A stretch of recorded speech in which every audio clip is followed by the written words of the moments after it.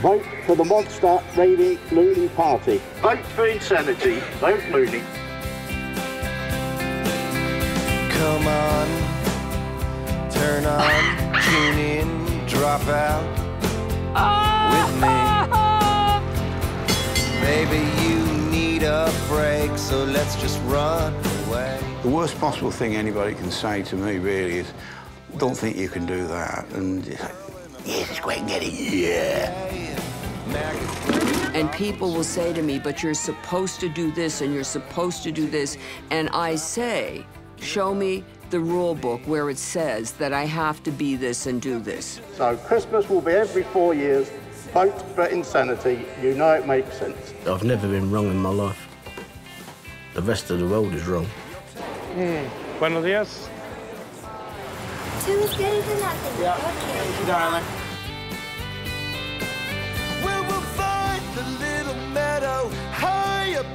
Cascades. Baby, we I never knew such security before I gave up money. And do you think Bill Gates is more secure than I am? I just like doing what I want to do when I want to do and lay about and just do as I please, really. They sent Webster to show the paintings. See, I have an ability and it's magical. Magic does exist and it's not just with the magician that you see. This is an animal doing it. Bless you, bless you, my ladies. I stepped to the beat of a different drummer.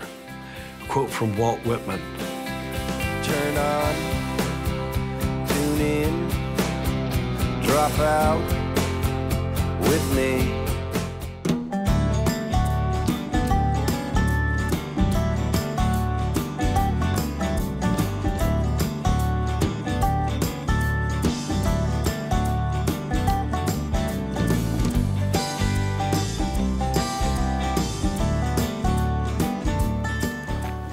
Daniel Suelo, and I haven't earned or spent a single cent in 14 years, and I live totally without money. I've actually been sleeping in caves longer than I've lived without money, probably since the mid 90s. This here is one of my sleeping places. Use cardboard for a pad, works great.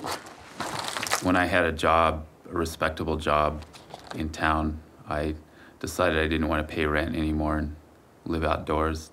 So I've, I've lived in caves all up and down these canyons. And this over here is a place where I sit and I, yeah, I have an extra blanket here that I use if it's really cold, but I like to sit here and relax. I bring books up or magazines that I find and read them.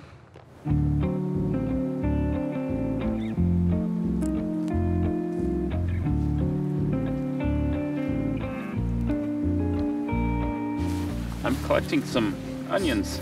These are wild onions. Just eat the tops for like chives or get the whole bulb if you want to do some good cooking with it. I really do feel that wild edibles are a lot more nutritious than domestic.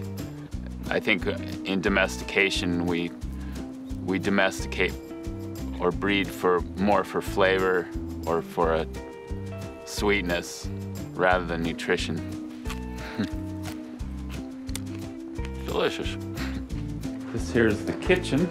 I've eaten lizards around here and grasshoppers and ants. One time I found a raccoon down at the road, freshly killed, and brought him up and cooked it. Okay, now I'm gonna saute the onions and potatoes in this pan with some oil. There's like fat squirrels everywhere and deer. But I actually don't feel comfortable killing anything when there's so much getting thrown away. There's like fresh meat thrown away all the time in the dumpsters. I find that it's really rare that I get sick when I'm living outdoors.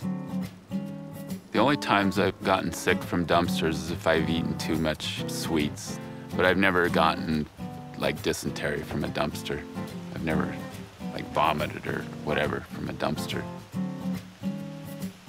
It was really hard for me to to deal with when I first gave up money was being on the receiving end of charity because often it's condescending. The giver is the superior one, the taker is the inferior one. The library is kind of like my office and my living room.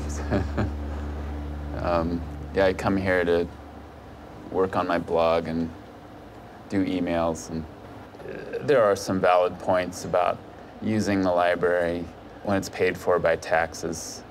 And it's the one exception to my rule that I, I don't take government assistance. I've foregone everything else. I don't take food stamps. I don't go to the food bank.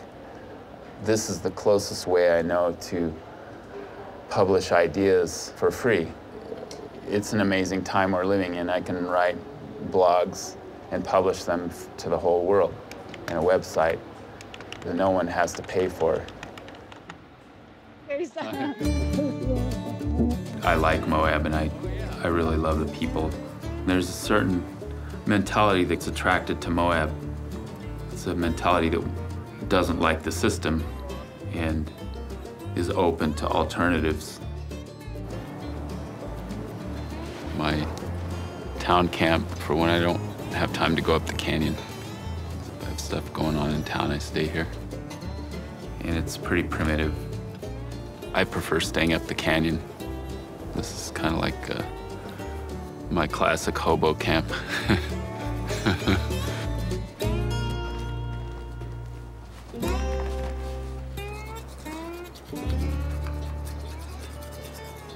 Christianity, the Bible is very important to me, and I do feel like it influenced my life deeply. My father, he became a minister of a church. My mother, she got us reading the Bible a lot growing up. I taught them God's Word. I just believed that this is what I was supposed to do. He was a good thinker, even as a child. And uh, but what got what got started on the life he's in now, I don't know. It just uh, seems to work into it. Uh.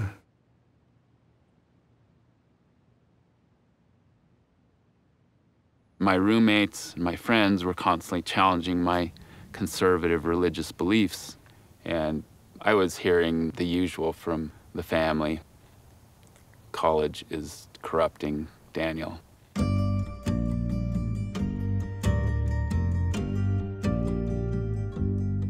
That's actually where I felt like I rejected my faith when I was in the Peace Corps. In a lot of ways, I uh, thought of myself as some kind of like, I'm here to set Christianity straight because it's off the, it's off the path. Why is it that we're not following the teachings of Jesus? Like, why is it that we just worship this icon but don't actually practice these things? Yeah, I, I feel like we should stop worrying and live like birds.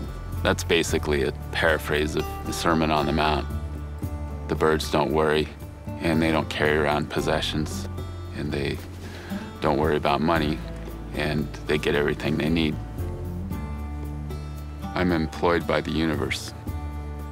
Since everywhere I go is the universe, I'm always secure. Life has flourished for billions of years like this.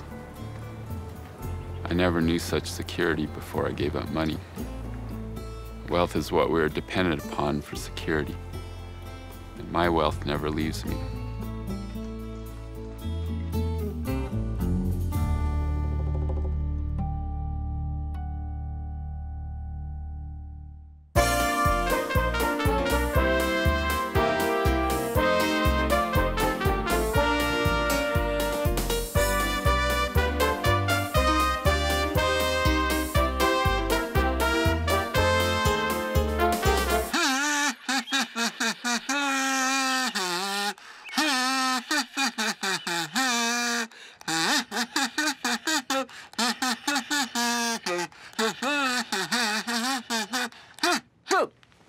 Darla Shaw.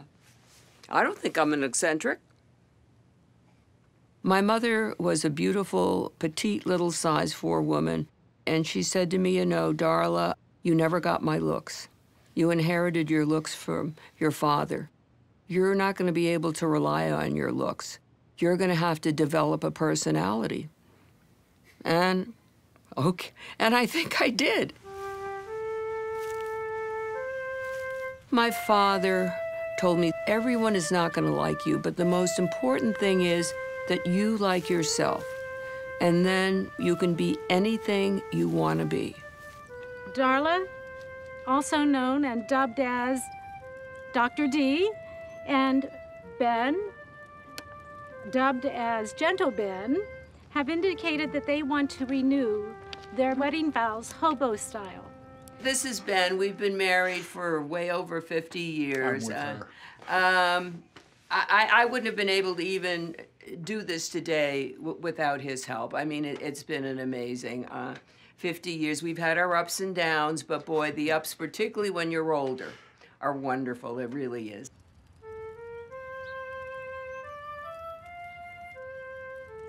When I saw her, her name had to be Kobe. I mean, it's just the type of thing when you look at somebody you know. I was almost name- named Snowball. And my son's name is Dyke.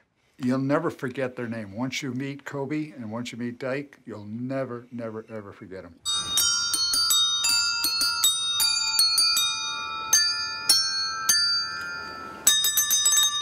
So we're And glad that- that I was named Kobe and he was named Dyke. Because, I mean, you know, at That that worked out well. time, we thought it was this big, strong, bold name. And then one day we were at a ski area and we said, hey, Dyke. And the whole line at the ski area stopped and everything. I love skiing, and I did not like ski jackets. They were big and bulky, and I saw this fireman's coat, so I started wearing it as a ski jacket, and I just grow, grew very attached to it, so I don't wear the usual clothes. You will see closets and closets of clothes, but not one designer label. Clothes speak to me in a certain way. I get up in the morning and I feel a certain way. I can't express how I feel, but I can go to a piece of clothing, and that piece of clothing will say, This is your day, this is what you need to wear.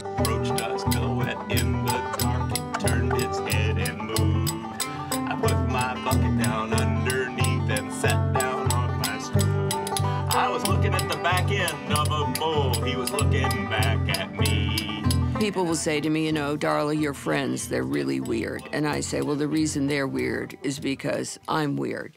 Okay, so we got we got we got guys here. If I tell people I'm in a documentary on eccentrics, they think an eccentric is somebody weird, not productive, and somebody that you don't want to associate with. But in my age group, it is so routine how you are supposed to act. It's almost like there's a rule book. And people will say to me, but you're supposed to do this and you're supposed to do this. And I say, where is the rule book? Show me the rule book where it says that I have to be this and do this.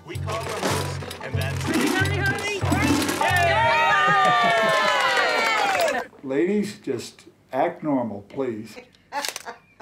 Okay, thank you. Well, thank you. Thank you. Well, Marty, thank you for coming today. I am just so excited about the success of your new book about Raven and Ravy. Tell me, how did you decide to write this book? What motivated you?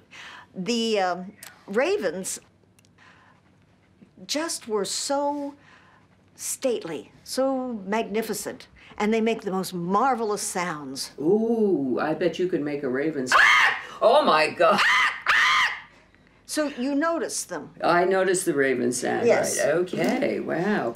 So, what do you think Zadoc started to do? He started to make hats. He was the first hat maker. We are standing here beside the grave of Maggie, the beloved wife of Yanai. Now, unlike so many of the residents of Ridgefield back in the 1800s, Yanai and Maggie were not natives. Okay, it's gimmicky, but sometimes the gimmicks can make a difference. They really can. In the Danbury school system, the third graders learn about the history of Danbury, which is so rich. The students were so bored with it. There was nothing really happening. And then I came upon the idea of kids love ghosts, that you can take a historical story, you can make it, you know, a, it's really kind of a ghost story, but kind of embellish it a little, and boy, you've got those kids in your grasp. He wept and wept as he followed the blood-stained walkway. My husband and I are uh, professional jugglers. We have a comedy juggling variety show. Yeah, and we perform all over the country. I've had some unusual jobs, and a lot of them stem from going to clown college, and that is definitely something that would not have happened without my parents' support and willingness to let me do those things. They didn't tell me I was crazy when I said I wanted to go to clown college or I was applying, and, and I definitely appreciate that looking back. I figure whenever you expand your horizons and learn anything, I mean, it's going to be something special. The deal was, when I retired, Darla was going to continue to work. And continuing to work, you know, she, she has her responsibilities. And I said, okay, I'll take care of the house. Ben's the cook in the family, and I'm a no cook. I don't even know how to shop at the supermarket. And she has her world, and I have my world, and, um, and it works out. I'm 73 years old, and I'm still playing hockey. The secret to staying youthful, I think it's the people that you associate with, also um, keeping yourself physically and mentally in condition. Who inspires me? My wife, Darla. If it wasn't for her and her persistence and her support, I don't know where I'd have been today.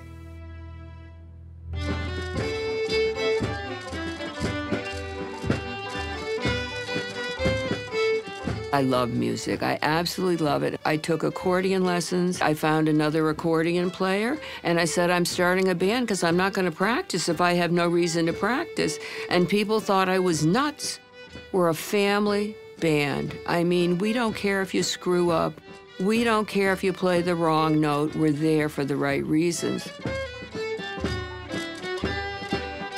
I have never been bored in my entire life. I hear people all around me saying, Oh, I'm bored with this, I'm bored. How can you be bored? There are so many options, there are so many things to do. And things happen for a reason in life. And I hope when things happen, you say, Wow, why did that happen to me? You jump on it, because that's when the best things happen. I do have, uh, hopefully, longevity, and I'm just going to make the most of whatever I have. I'm never going to stop setting goals. If I'm in assisted living, if I'm hooked up to IV, I'll still be thinking about what I can do, where I can go, how I can make the most of something.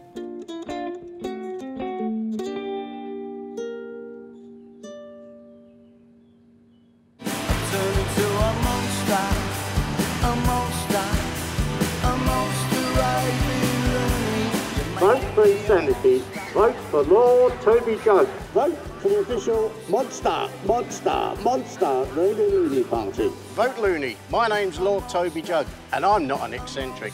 It's the rest of the world that's eccentric. Ah, hello. How are you? Vote Loony. Have another million pound notes. Uh, it started in 1987.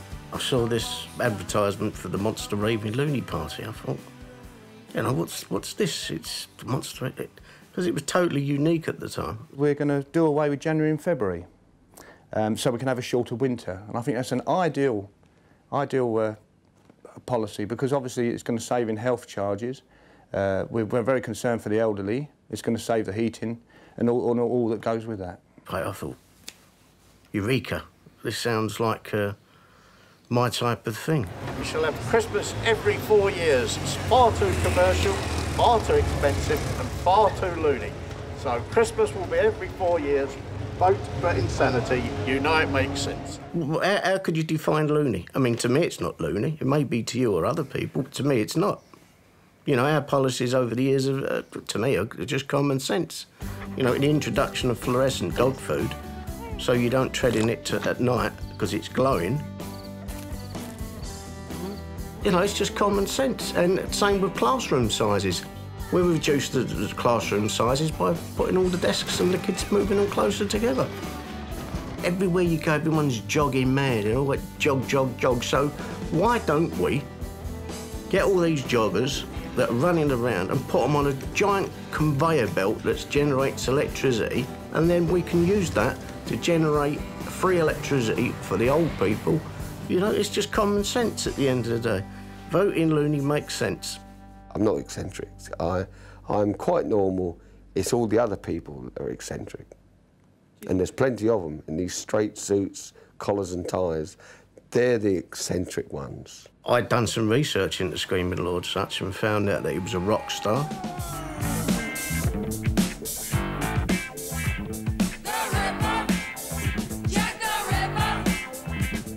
One of the first shock horror musicians, and it was just totally unique, and no one had ever seen this. Jack the Ripper was his best known song. He, he played it for laughs. Uh, he, I don't think, ever sat down and looked at the implications of promoting a, slot, a song about murdering women. Well, he walks Down the street, every gal he meets, he says, Is your name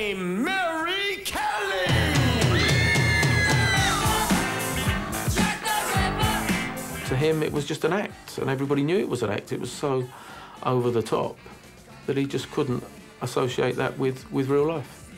Screaming Lord Sutch, the greatest showman, in my opinion, in rock entertaining. OK, the man couldn't sing, he was a rock and roll screamer.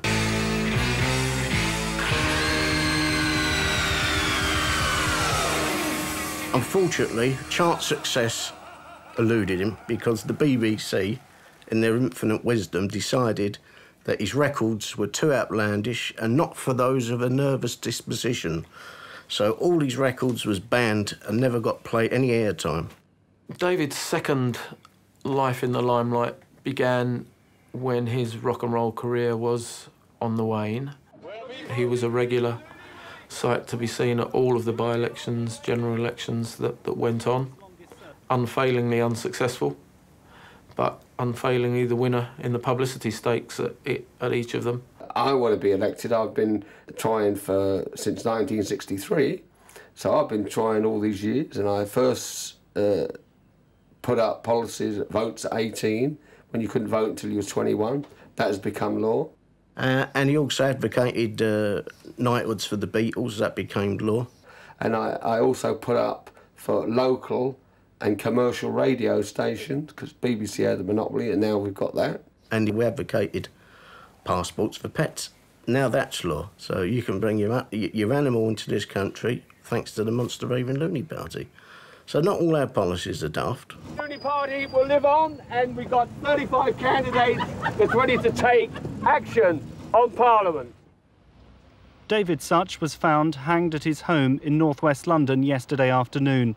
He had fought a long-term battle against depression. Political leaders may rise and fall in popularity, but Screaming Lord Sutch remained a unique national treasure.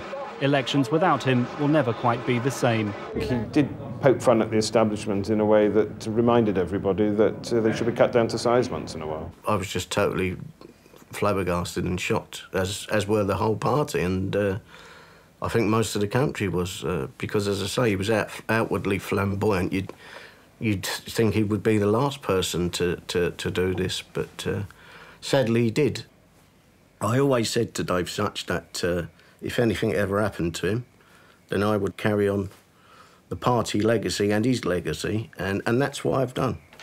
Vote for insanity. Vote, vote Lord Toby Jug. Vote monster, monster, monster, raving, loony, party. A monster raving loony. I'll turn into a monster.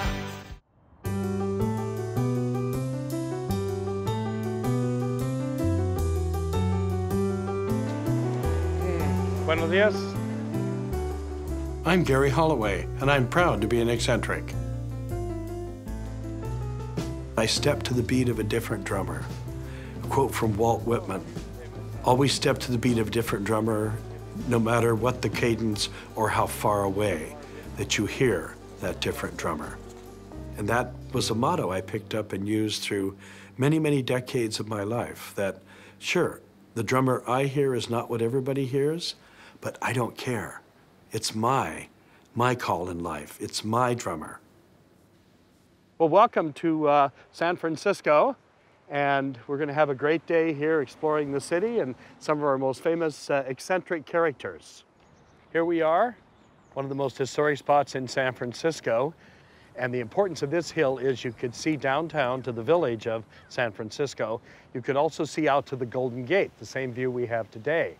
I'm very gregarious. I love people. Kind of the Will Rogers, I never met a man I didn't like.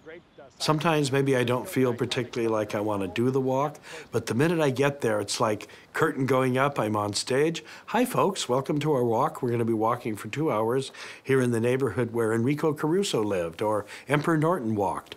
And then a friend of mine said that she was going to make a robe. She felt that I had the bearing of a priest or a monk from the Middle Ages. I've been wearing it for years on flights, on bus trips, Halloween. I get interesting reactions. A lot of people want to confess sins. people give me seats on buses and planes.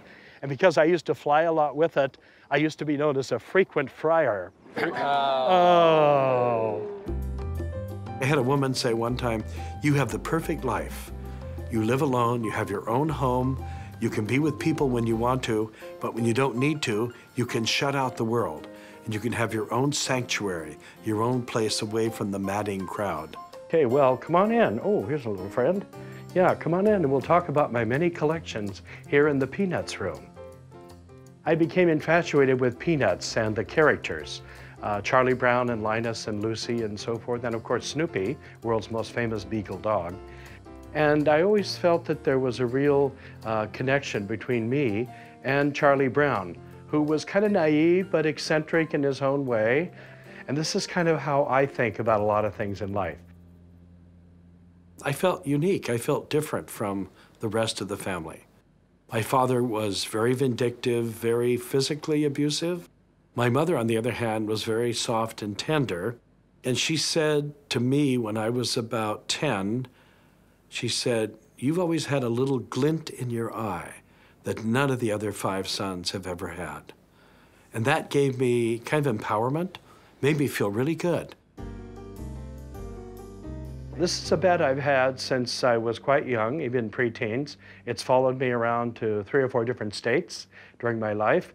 Um, it's a little bit broken in because I'm a chunky kind of guy, but uh, I still love it. It's comfortable. When I get into that bed at night, it's a nice, nurturing, like back to the womb feeling. I think my father was trying to get me into some sort of mold that he perceived was necessary with the other five brothers. And I wasn't balking so much as just not interested in being one of the gang, you know, being part of the cookie cutter, uh, you know, mentality for the family. This is my lair. This is my habitat. This is my retreat, my sanctuary. And come on with me. I'm going to show you another couple of collections that are just down the hallway. Okay, well, let me show you my tea tin collection. I'm very proud of it, to say the least. I have about 1,500. It's been authenticated as the world's largest collection, focusing on tea and tea culture. I haven't bought all these, I've had friends donate them, but I have drunk most of the tea here over the years. When I was a freshman in college, I met a wonderful lady. Uh, she was 42, returning to college, and she said she liked to get mail and loved to send postcards, and I said, me too. And that's how we started. This correspondence of a postcard every day, including Sundays, lasted for 52 years. So I treasure these. I have over 20,000 postcards from her. Why do you travel as much I travel for adventure, for knowledge. Um, I visited over 120 different countries. And I'm considered an American eccentric when I go to Southeast Asia. I bet. In fact, uh, people always ask me, are, are other Americans like you? What we have here, a couple of images of one of my favorite saints, Saint Fiacre. Well, he became the patron saint of gardeners. Also because he crouched and got down a lot, he developed hemorrhoids. So he is also the patron saint of hemorrhoid sufferers. Very interesting uh, saint. I have heroes like Martin Van Buren, who I really admire for his individuality, his steadfastness. I went to United States Mint to buy a set of medals of all the presidents. And she said, there's one medal I've never sold by itself, the Martin Van Buren medal. Nobody seems to be interested in our eighth president. And I said, I'll take 10 of those. And she goes, What? And then she yelled into the next room, I'm selling 10 Van Burens. And the response came back, That's incredible. Nobody ever buys Van Burens. Uh, so he was widowed and he never remarried. Did a lot of, I think, chasing skirts. He was particularly fond of ballerinas, but because they were nimble and athletic, they could always outrun him. I would say he was eccentric. He's the derivation of the term OK. He's from the village of Kinderhook in upstate New York.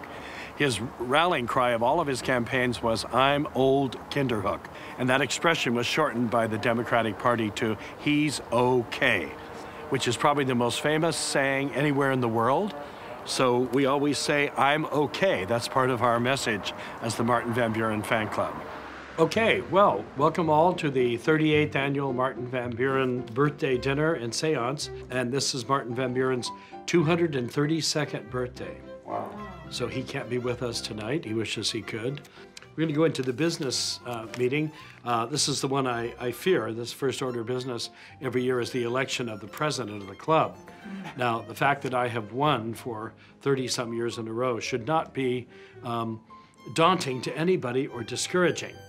But um, what we always look for is somebody to make a motion that I am to be elected for the next year. Nomination. I'd like to make a motion. Yes, please. To uh, uh, nominate and uh, elect uh, uh, Gary Holloway as the next president of the Martin Van Buren Fan Club. Do I?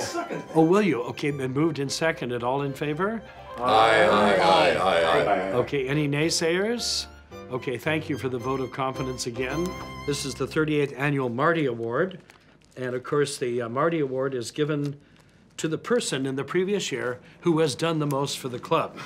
Well, this is like the Academy Awards. My fingers are trembling as I open, and oh, the winner is me. Well, I certainly think Gary's an eccentric in the very best sense of the word. There's a, a high, uh, a relatively high degree of motivation and focus on things that most of us would just say, that's trivial. Why are you putting so much time and energy into that? You know, but an eccentric will do that. Welcome to the annual seance, which we always end our Martin Van Buren potluck uh, evenings with.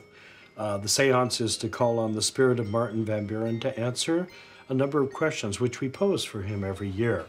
If it's a positive response, the candle will flicker and move. If it's a negative, the candle will stay steady. this has always proven to be 100% accurate over the years, and there'll be no difference tonight for that. Right. Are, Are you okay? Oh my God, we're getting some nice spirits here. I'm really hard pressed to think of anything that Martin Van Buren ever did. and that is in itself interesting. I mean, that makes him unique. And so I, it, it's actually been a very good experience to be a part of the organization. The question, of course, has to do with Martin Van Buren's private life about Dolly Madison, a woman he was um, very much, um, I think, in love with. And the question is, did you dally with Dolly? Did you dally with Dolly? Oh my God. Well, well. more than once, apparently. well, I would say yes. The knowledge this man has that he shares with us to make every evening with him or every field trip with him um, an experience you don't want to forget.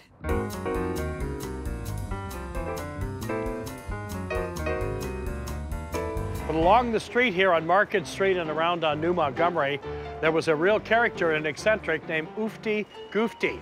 And he got that name because that was the sound he made.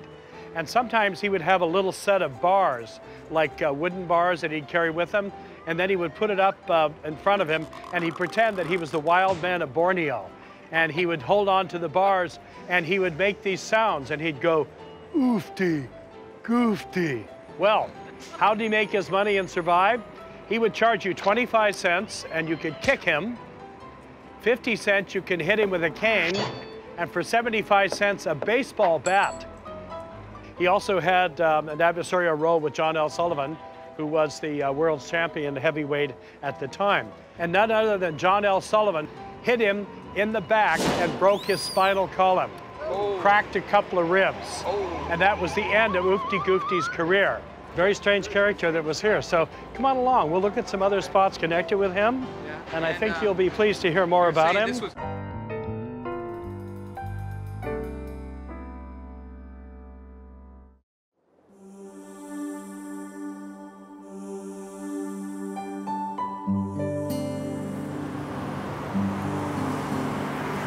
Laura K. Prophet, Vancouver's Duck Lady. Yes, hello. Uh, Shirley, yes, this is the Duck Lady. For the past 21 years, I've lived in a Vancouver hotel room with a series of five ducks. I love them all like children. The first duck I lived with, I called Harvey the Duck. Harvey, he's the holy duck. Literally a holy duck. uh, God was showing us this in every way. I didn't plan on it. I was on the bus going somewhere, I don't know where. All of a sudden, my spirit voice, voice's male said, get off the bus here. And I saw that I was, there was a hatchery right across the street, and he said, go in, you're gonna get a duck. And I'm getting one of those too, so oh, don't jump. the jumper is probably mine.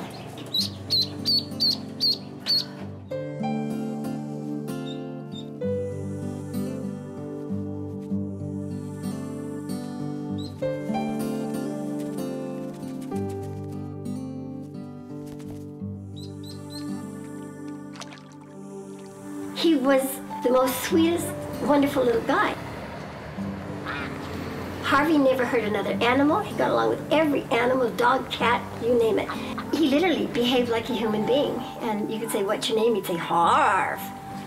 And who's that? Mom. And if you gave him a treat, he'd wag his tail and say, whoa. Harvey had a special ability. He could heal people. One day, he met an eight-year-old girl. She had mittens on, and I said, do you want to hold Harvey the duck? You can pat him. The dad said she's got these sores on the back of her hand for three months. The doctors couldn't do anything about it. I did not say anything about Harvey being able to heal them. All I said was, Harvey's a magic duck, wishes come true off his feathers. You just pat him and you wish whatever you want. And the mother phoned me the next morning and she said, you know, we woke up and these, her hands were perfectly healed. And I said, oh, thank you, Jesus. And the little girl said, no, Mom, it was Harvey the duck that healed me. the child knew. And when Harvey died, like I, I, I was like in shock. Now, it was interesting because after he had died, I had a couple of psychics say, I see Harvey, he's dressed in the black suit, and he's just a big traveler, and he's happy as all get out. After Harvey died, I was given two other ducks whom I called Webster and Holly. Webster, Holly. I discovered that Webster had a special talent. He could paint pictures. There you go, darling. Okay, Webster's going to paint. And Webster painted perfect pictures of exactly what we asked for. They're incredibly detailed. But there, he had little bumps on his feet, on his toes, so that when he did pictures, it was like ink blot art. And I said, you're going to paint such and such. Yo, yo, yo, yo, he'd go, and I'd stand him on the paint and then stand him on the canvas, and he'd walk around on for like less than two minutes. He'd always do a tiny little piddle to put his self into it.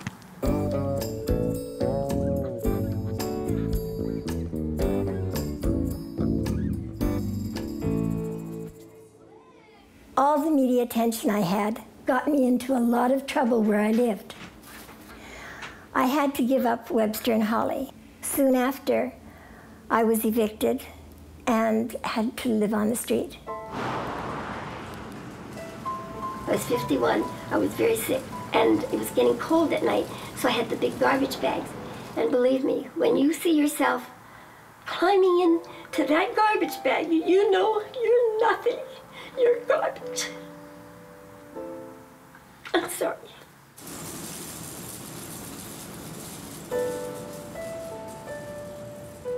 When I came down with the multiple sclerosis, I would be walking down the street and all of a sudden my legs would collapse out from under me. And I didn't understand what was going on and I would sit there until I could walk again. And as the multiple sclerosis got worse and more often I was falling down and sitting there on the street, all of a sudden it's like people were kicking dirt at me and people were putting their ashes from the cigarettes on top of me and spitting on me as I was sitting there waiting to get my strength back. And I couldn't, why were they doing this? What? And saying, ah, she's some damn drunk or she's some damn, you're drug addict, get off the drugs, go out and get a job. And God does not let me hit. All my life I have never been able to hit or scream to this day. When I, everything in me wants to hit.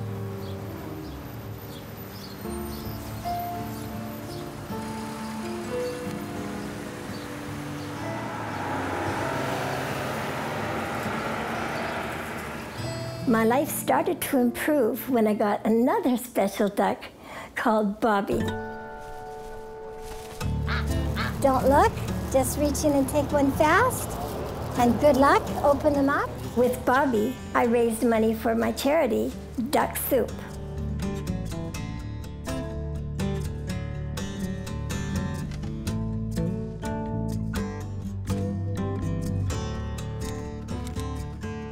Over the years, I've given out over $25,000 to homeless people. It's like a lottery. The street people win varying amounts of money hidden in small packages of cookies. I do everything myself. Yeah, I buy I buy them retail, I cook them, I deliver them, all of it. It's all my money. The $100 winners are the Super Duck.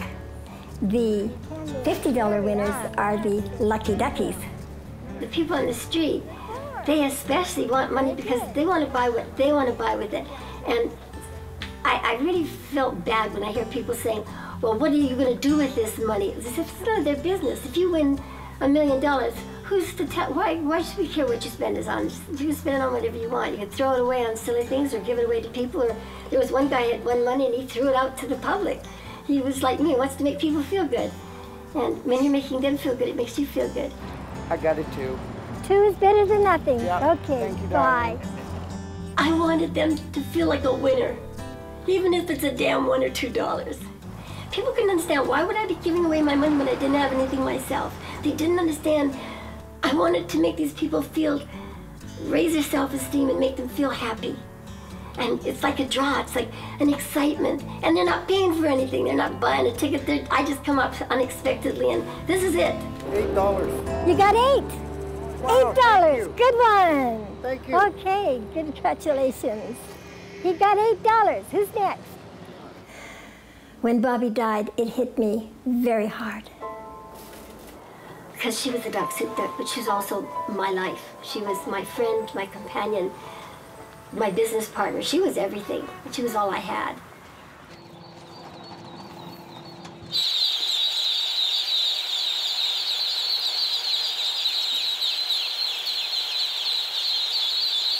They're in this box right here. Oh, they're in a box. Yeah, yeah. Oh, I thought they'd be running around in a. Well, Oh. we just brought some here to you. And these are all just one day old. Uh, they were hatched yesterday, yes. Yeah. So they have, See, look who's in the center with the neck stretching lungs. Yeah, that's right. There you See? go. Yeah. Yeah, this is Bobby. I know this is Bobby. Yeah.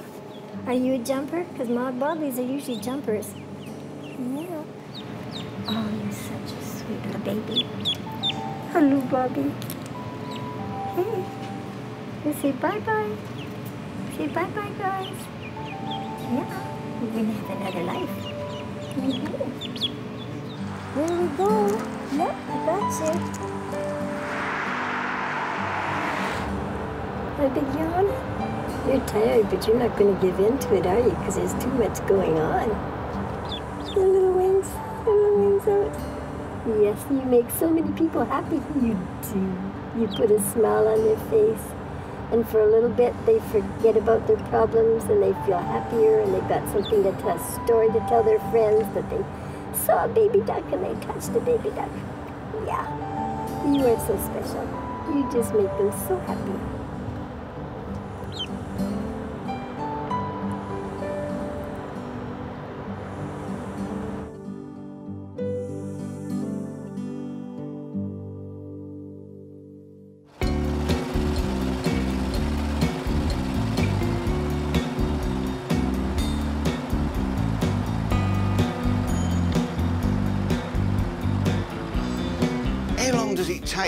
Fry an egg? Because some people, they put them on, they wander off, don't they? They do do. Yeah, so I thought to myself, why not? I thought, bring the world's first frying pan musical.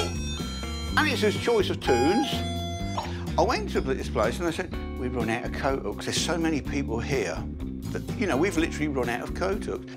Okie dokie. Have your own hook. Just a normal conventional door knocker.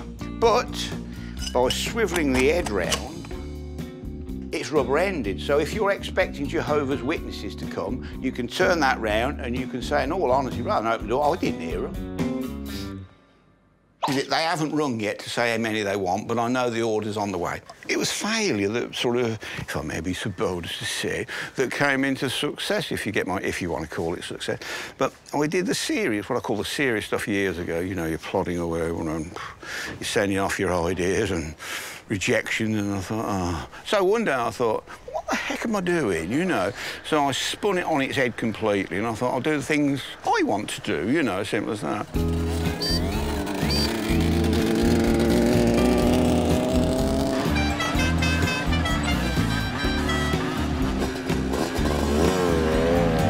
Was... I'm glad you've asked me about this. I didn't. So anyway, this is basically a dummy or a soother, whatever. This is for ugly children. So when you clamp it in the face, you know, you can't see them, bless. As my mother said, I think you were born with a hammer in your hand. I said, it must have been painful, mother. You put the charcoal in the bottom. Ah. Yeah, it comes from the Greek meaning bottom. And uh, you set fire to it, and you sit there, and you can slowly barbecue your food. It's the personal barbecue. Anyway, it don't matter wherever you go, there's always somebody saying, where can I buy one of these? You know, and you think, oh my God, and they got a vote as well.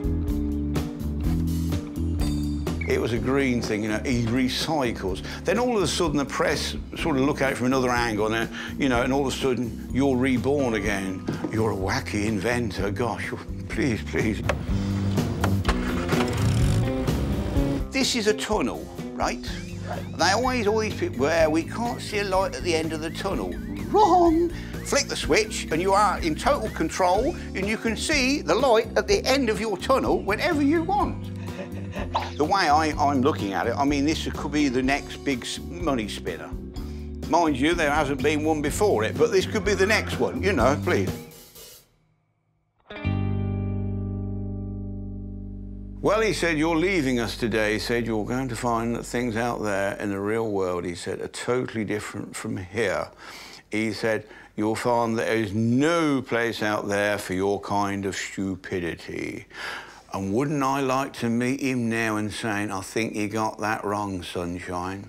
What on earth is happening here? Well, this is a bra warmer. No, on a, on a cold morning, you get up and put it on this, and away you go. Once it's maintained the heat, as we're getting there, and then put it straight on. Well, as you can see, there is a bra on it. It belongs to the beautiful Kerry. If Kerry could come in and just stand here. Oh, no, not that way, Kerry. oh, I should shut one eye. Everyone, avert your gaze. Kerry, if you could just turn round. We've got your bra. We're gonna. I'm going to ask you to put it on, uh, and you tell me whether the uh, the bra warmer has actually worked. There you go.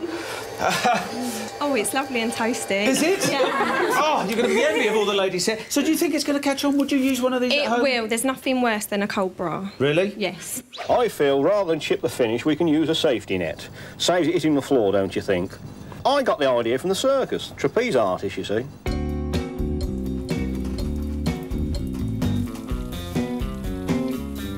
Well, he's mad, but he's happy. The worst possible thing anybody can say to me, really, is, don't think you can do that. And it's like, yes, let's go out and get it, yeah. So that's how it goes, really. The only reliant three-wheeled fire engine in the world, and this part of Lincolnshire as well. Talk amongst yourselves while I unwrap it. So we got the blue lights, the bell, all the bits and bobs. I then cut the back off. Does it run? Good God, does it run? I mean, come on. Where do you think you are? A bloody museum?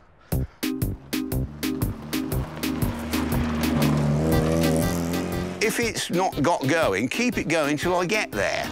Otherwise, it's a pointless escapade, isn't it, really, you know? The reaction on people's faces has been wonderful. It doesn't cost any more to snarl or smile, you know, the same effort's involved, but if you get a smile, I think you're halfway there. Come on, live. You only get one stab at the long. If it's not video, you can't press the replay button. A lot think they can, but it, it don't work that way. So, as I once said famously, I'm trying to cram as much silliness in as I possibly can, and it's working for me. Fade to credits. Thank you, yes.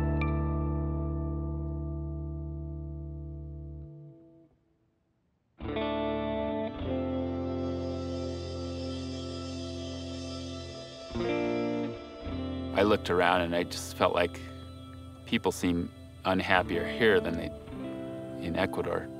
Here, everything's just so manicured and fake. And I'd go into grocery stores and freak out. There's too many choices and everything's consume, consume, consume. It was all just too much for me. It was just like, I can't handle this. And my depression just kept felt like it kept getting worse. I didn't see how it could get any worse, but it just kept, I kept sinking more and more and um, thinking more and more about suicide a lot. And I thought something's wrong. I can't handle being alive anymore. It's just impossible. So that weekend, I drove up to Mount Evans in Colorado to check out cliffs. so I went up the road a ways then did a UE, and then gunned the gas. The last thing I remembered, the edge of the cliff hitting the floorboard of the car. Then it was just blackness after that. I opened my eyes. I didn't feel anything. It was just numbness. But I looked up and it, everything was red. The blood was in my eyeballs. And I remember thinking, oh shit, I'm still alive. And then I just remember blacking out again. And then the next thing I remembered, I woke up and I was at the side of the road. I was like, wow, how did I get up here? If I heard this car coming down from the summit. And I kept going back and forth between wanting to live and wanting to die. And as he got closer, I was thinking, I don't want to see him, want him to see him, me here. I just want to die. And I hope he passes me by. Sure enough, he passed me by and went on. And as he went by, I remember thinking, that fucker, what's the matter with people? and then I started praying that somebody would come and find me. And sure enough, another car was coming down. And I was like praying that it would stop, and then he stops. And I just blanked out again. I didn't understand at first why in the world uh, he wanted to commit suicide. One reason was is he he uh, he was gay. Uh, he is gay. He's a, a, gay person, and he and he knew that. Uh, I, I've always been pretty strict about morals and all this sort of thing, you know. And I think it. Uh, he was afraid that the family might disown him.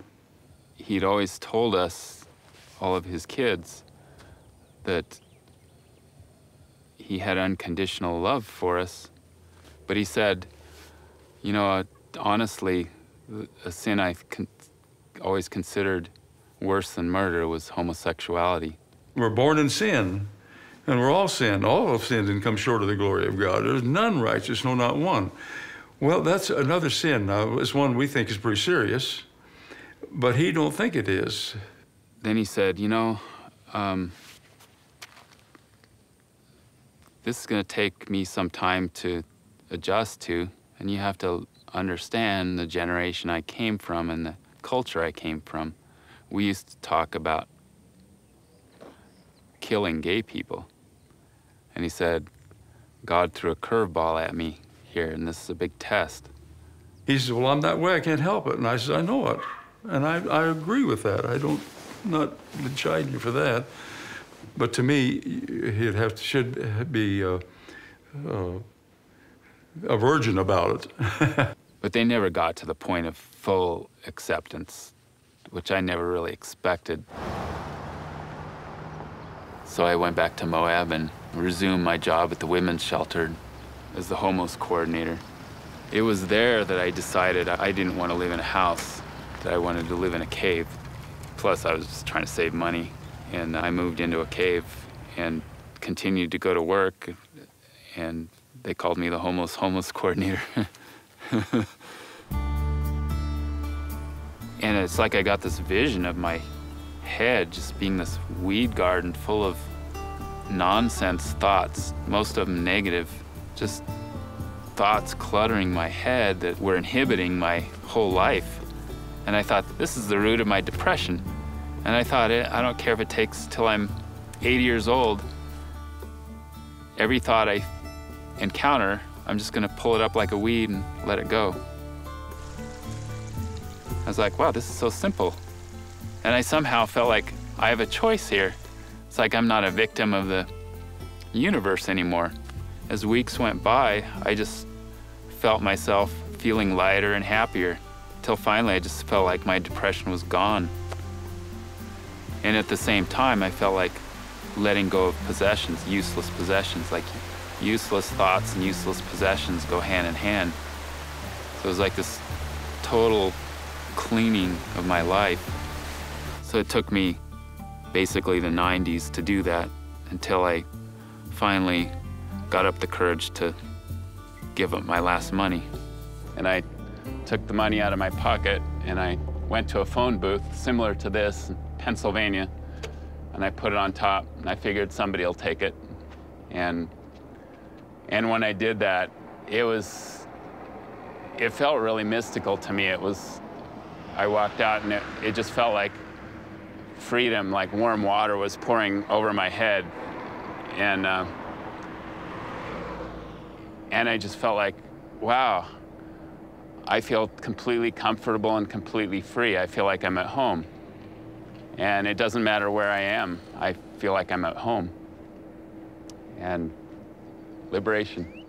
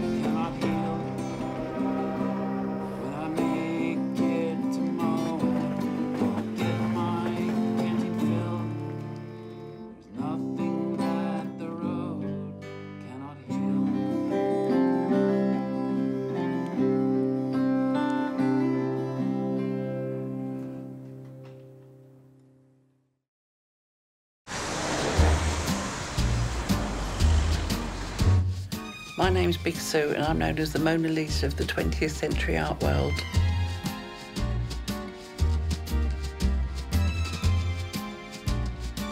Plant 37, Lucian Freud. 30 million. And $30 million now. It's on this telephone and selling, fair warning, at $30 million. It wouldn't really ever cross your mind that one day you would be the subject of the most expensive painting in the world, is it really? It's not an ambition that most people have. I was flabbergasted when the painting sold for that much. I had no idea. You're sort of the Mona Lisa of modern art, aren't you? I know. I like it when people say that. but the thing is, people know more about me than the Mona Lisa due to the modern world of the internet.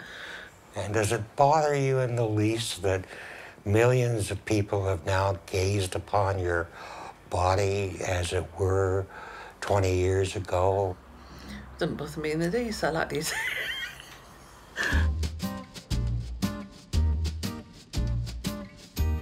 I see. I like. I'm very keen on doing a boring routine job. So you're schizo. Maybe bipolar they call it these days. I wanted to shock and amaze.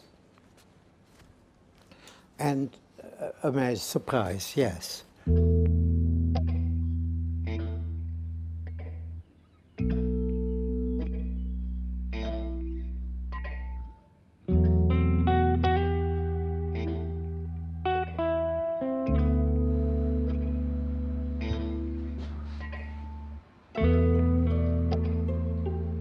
Talk about his girlfriends, it was like talking to a 17 year old boy, really. His love for women. I was very aware of his addiction to women, but luckily, I wasn't his cup of tea, and he wasn't my cup of tea. Scary face, and he's so old and wrinkly. Ooh. and apparently used to kick girls down the stairs if he didn't like them. He'd sort of take them, get them round. He thought he might fancy them. Then if they got on his nerves, kick them down the stairs. Well, I don't know if he actually did, but he told me he did, like I'd be impressed. But, you know, it might have been exaggerating for my entertainment. Were you entertained? Of course I was. I'm thrilled by bad behaviour. Lucy was a very private person, didn't want people hanging around the house and coming to call him because he liked working so much and he didn't want to be interrupted. When I was working with Lucy, he said, You don't know where I live. I went, But I come here three times a week.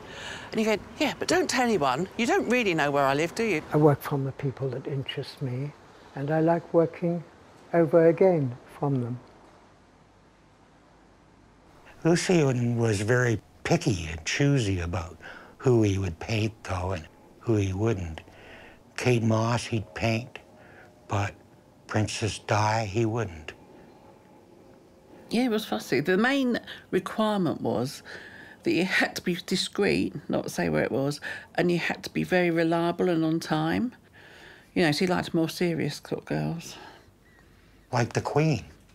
Queen's serious, but I think he, you know he went to Buckingham Palace to see her, so the paparazzi weren't hanging around. And I don't think anyone thought there was a romance going on between them. Might have been. Who knows? Oh, I think the picture of the Queen's absolutely marvellous. So I think it looks really like her. But I don't know if you've seen it. There's a sort of cartoon someone did where they put his painting of the Queen's face on my body of my painting. And because they're painted by the same person, it looks really good. So I don't know if Queen has seen it. I hope so.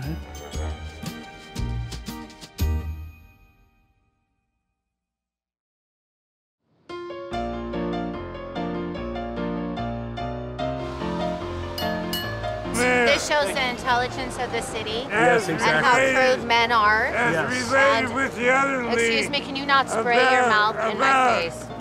And I think San Francisco, being different at the end of the continent, attracted a lot of people that didn't quite fit elsewhere. We still do. And I always quote Frank Lloyd Wright, our greatest architect of the last century. He said in the 1920s when he came to California, if you turn the United States on its side, everything loose will fall to California. Police! The name of the Father, Son, they're gonna, everyone will come to you now. Okay, well, And everything that's evil will come now. Everything evil. This is what it is, Sodom and Gomorrah, if you really want to know about it. They like to rape in each other's buttocks and want to be fruitful, but they can't multiply. Well, it sounds like you lived on the Thank street you for a sharing while. with Like you've been drinking a lot a little while and Thank you, you. should be arrested. Yeah, Thank you I very have much. been drinking. This was our very first uh, uh, commercial street or business street in San Francisco. And it was here that the famous Emperor Norton ended up.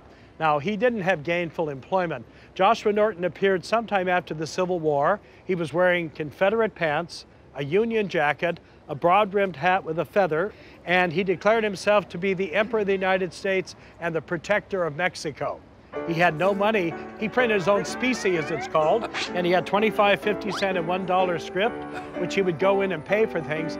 They were always accepted. Nobody said, I'm sorry, what is this, Monopoly money? Come on now. No way. Well, Emperor Norton was so famous that when he died, the city uh, Board of Supervisors decided to have all the flags lowered at half-mast.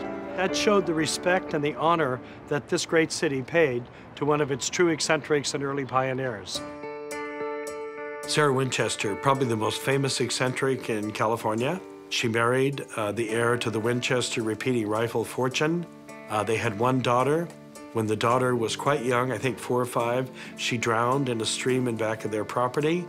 And then a few years later, her husband died, and Sarah felt lost, disoriented. What am I doing wrong with my life? It's my fault that my only child and my husband have died. So she went to a mystic, and the mystic said, We have the ghosts of all the people who've been killed anywhere in the world by the Winchester rifles. And they're all out to haunt you and to ruin your life and kill those near and dear to you. So, what you need to do is to start building a home. And as long as you keep building with hammers and saws and workmen around the clock, you will live forever and achieve peace and harmony and happiness. And she starts building and building and building. And as her uh, home grew up from a few bedrooms to dozens and then to hundreds, she would sleep in a different one every night, and the servants never knew where to find her. Sarah Winchester believed that only the good spirits would inhabit her new construction and that the evil spirits could not enter. And this was why she kept building, and she would do like false walls, false ceilings, stairs that go nowhere, closets where you open the door and there's a blank wall.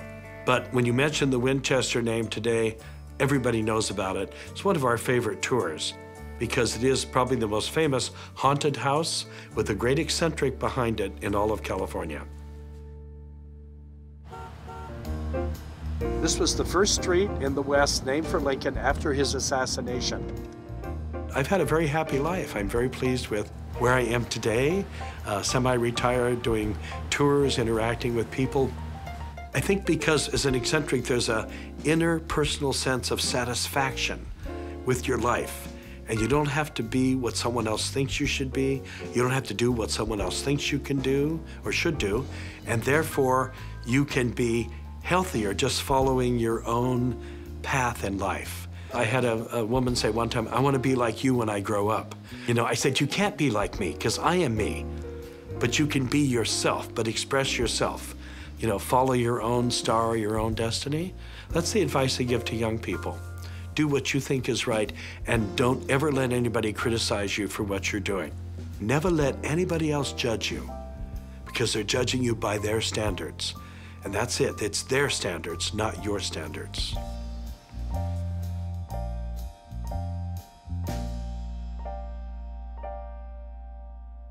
Vote for insanity. You know it makes sense. Vote for the monster raving loony party.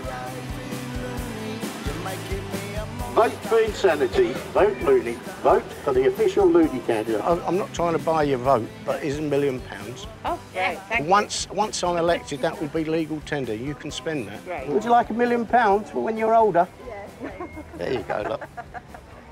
There you go. You know, every time we go to an election, we give away a Monster Raving Loony Party Bank of Loonyland million pound note.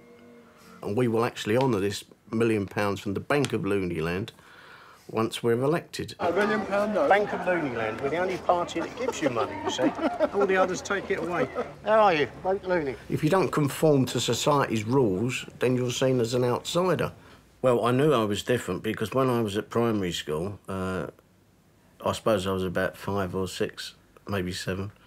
The teacher, I remember the teacher asking all the kids, uh, you know, you know, Johnny, what's your favourite uh, pop music and that blah blah blah. Oh, I like the the Bay City Rollers or David, Ke- the music of the time. And then uh, I was asked the question, and I don't know what made me say it, but I just, you know, I just came out with German marching military music.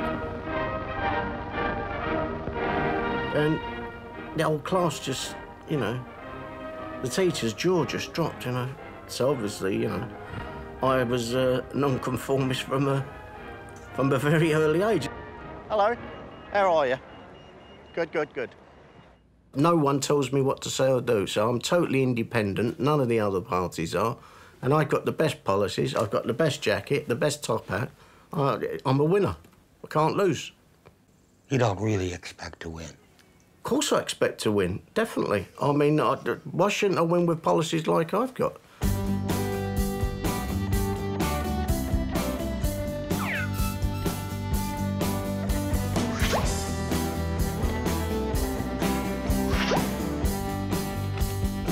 I've never came last in any election, so I must be doing something right.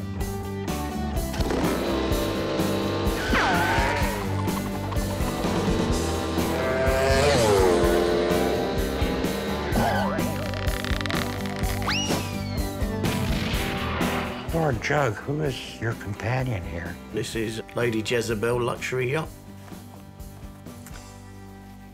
Yes, hello. There she is. Lady Jezebel. You Very lived together for seven months. What was that like? Uh, barking mad. Uh, There's absolutely no doubt in my mind he's completely barking mad. Um, eccentric is a, a very nice word for it, I think. Yes.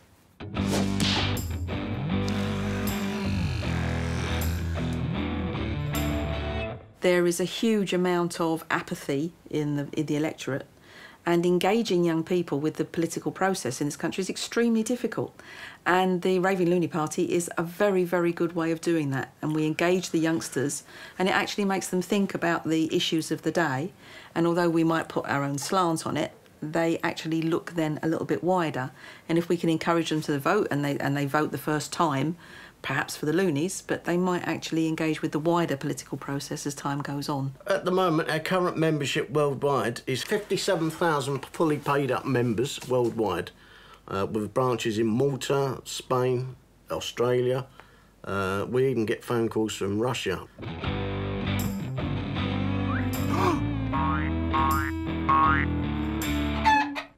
if Smiles was votes, I'd win every time. Uh, and I'd rather have a thousand smiles than a thousand votes. Because there's enough sadness in this world, and if I can make people happy and laugh and put a bit of colour into their life, then more the merrier.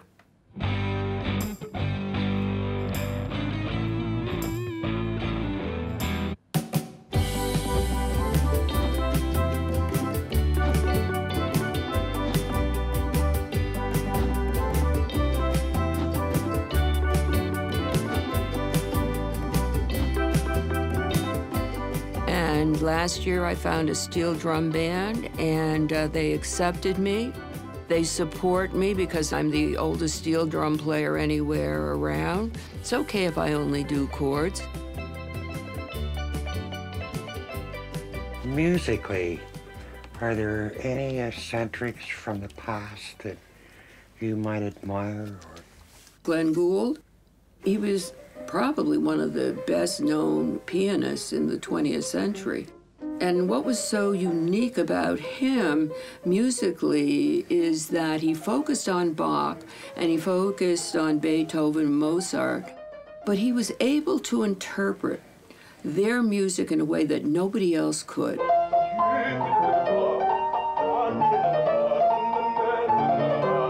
He was such a musical genius, and as all geniuses, you know, he had his quirks.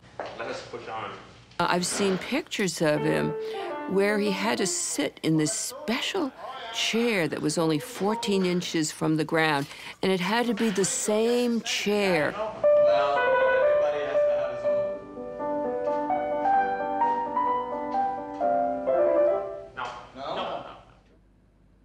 If it was warm and it was summer, he would play with a coat on. He was very much of a perfectionistic. He wasn't listening to what other people uh, had to say. And my moods are more or less inversely related to the clarity of the sky on any given day. Matter of fact, my private motto has always been that behind every silver lining there's a cloud.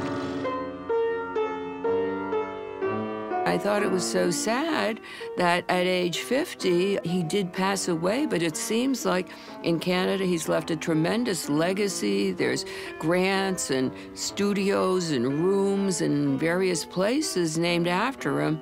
And I think that you'll find probably more eccentrics leaving their mark than the person who has tried to keep in step with everybody else. Do you think Darla is eccentric or? To me, no. um, she's just my mom, and this is the norm. That's what I grew up with. That's that's what I know. Um, so no, I, I just think she's a creative person who's very strong-willed. Darla, do you think Kobe's eccentric?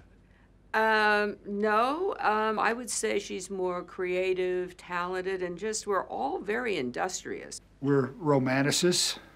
I'm a romanticist, and I, I firmly believe in it. And sometimes the male population, you know, they don't understand that.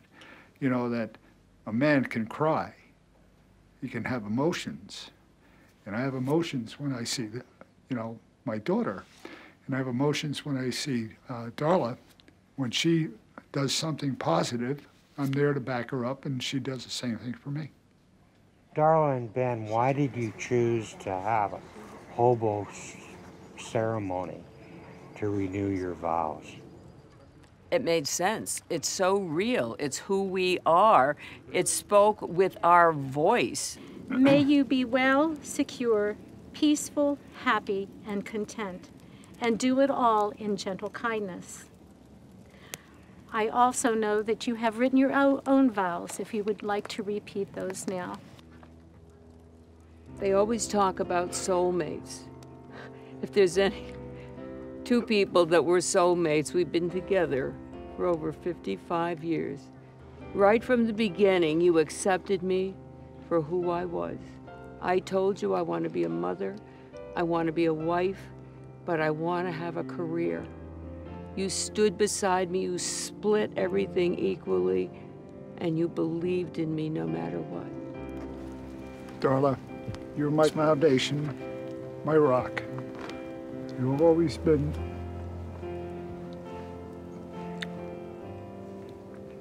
an inspiration to me. I love you. Will continue to love you until the day I die. You are my soulmate. You are my love forever.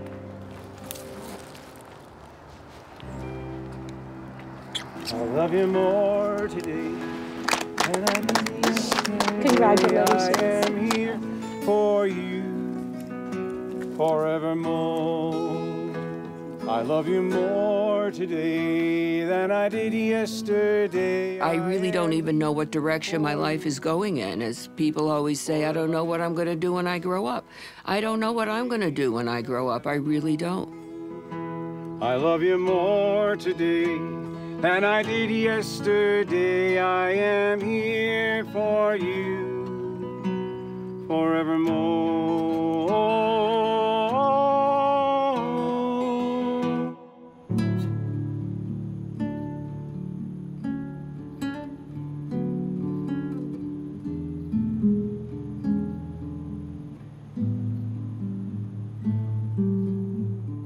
Yeah, living without money really is about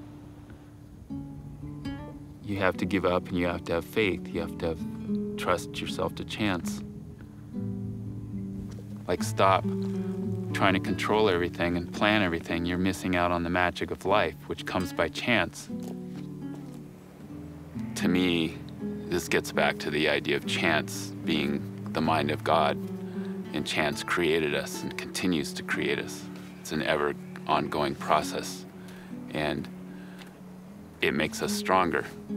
And the more we realize the laws of nature, the more we are closer to God. And if we avoid it, we, we're constantly running away from the laws of the universe. We're, we're going to be weak.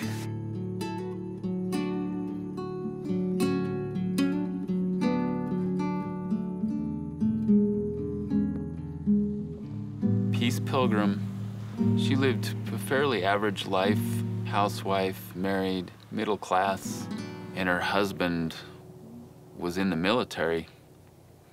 And she disagreed with the military. She just felt very strongly about peace.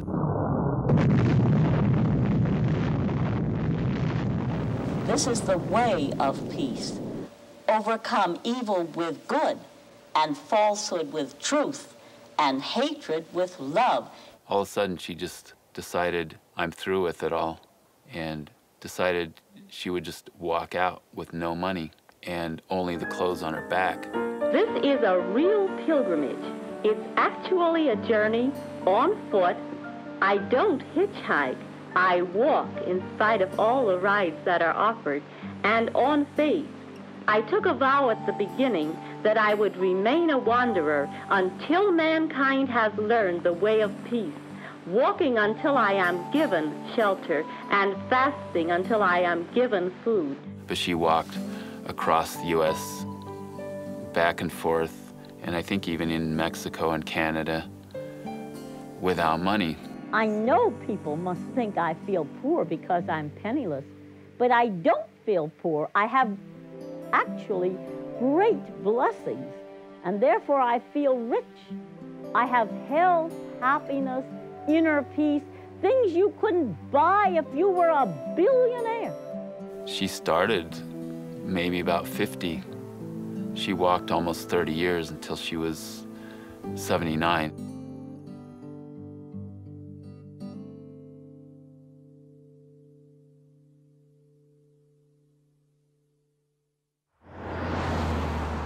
I've gotten stopped by cops quite a bit when I'm hitchhiking or walking with a backpack. They often ask me, what are you doing? And I say, well, I'm walking in America. It immediately appeals to that sense of America, freedom. You know, th th those two things go together. And immediately it, it breaks down some barriers. This is like my monastery, this canyon. I always feel like when I meditate, it's like there's a oneness with nature that I feel like that same calm that keeps everything alive is the same calm that enters me. It's, it feels kind of mystical up here in that way.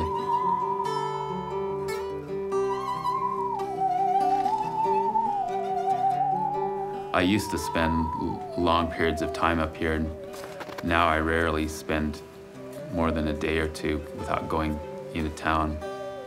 That in itself feels like a good thing to me, like to take what I've learned up here and keep bringing it down there.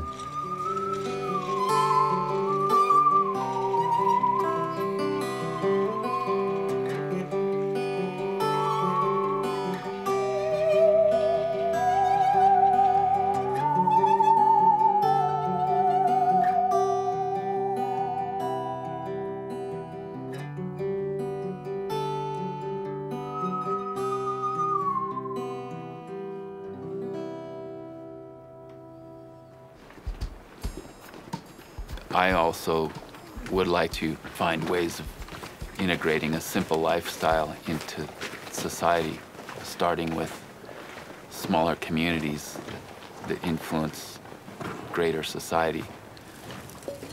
The idea is to make it so it's possible to have moneyless community, so it's not just a one-man show. So I'm just like stepping back and we'll see what happens. And if it if it comes together and grows organically, then that's the way I would prefer it myself.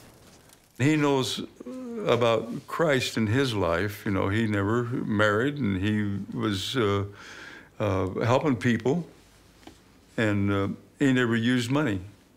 And, and so I thought, well, if that's the way he wants to live his life, that's his business. So this is what I concluded, you know. I thought, well, you know, that stuff is going to be thrown away. It's wasted. Now, I realize that, of course, they can't sell it after its date. But uh, somehow it ought to be put into use. And so I'm, I'm all for him going in there and getting the food as long as you don't pick up something that's been in there and gets him poisoned. You know, that was my only concern. But he knows better than that. He knows what to pick. He knows exactly what to choose. But um, we discussed the whole homosexuality thing. Yeah, my dad is quite open about it, and my mom, well, she came around too, finally. He comes around whenever he can, and we just love to have him here. I loved him so much, and I'm like, nothing like that is going to separate us. thank you for this food for our bodies and all the spiritual, physical, mental needs that we need. We just thank you from the bottom of our heart. I finally came to the place where this is my roots and I have to accept my roots and I'm not going to feel a complete human being unless I embrace the roots that I was trying to reject. You are listening to KZMU Community Radio in Moab on 90.1 FM and 106.7 FM, Utah's only all-volunteer aircrew radio station. Solar-powered, community-empowered, celebrating 21 years of live local grassroots radio in Moab, Green River. And this is Daniel Suelo. And this program is Turn On, Tune In, and Drop Out. Turn on, tune in, drop out with me. The whole thing's coming down, so let's just get out of the way. Well, I'm not paranoid, there is no conspiracy, but I swear Big Brother's watching me. Turn on, tune in, drop out, give up with me. So you're serving efforts to the local survivalist.